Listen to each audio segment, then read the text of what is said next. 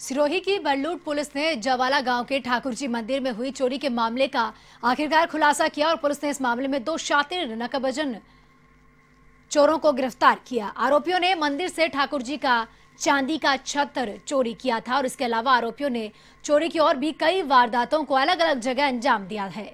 फ़िलहाल पुलिस आरोपियों से पूछताछ कर रही है। इसमें चोरी की और भी कई वारदातों का अब खुलासा होने की पुलिस को उम्मीद है।